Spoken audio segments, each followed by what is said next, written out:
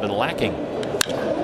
And Marte drives one way out to right center. Ketel Marte, it's gone, and we're tied.